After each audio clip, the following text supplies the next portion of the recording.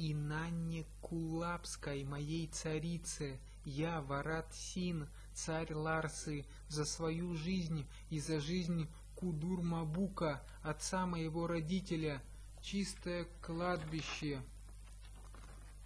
На месте его геройства построил, подобно высокой горе, да вознесется оно, моим деяниям она далекует, долгие годы жития мне она да подарит.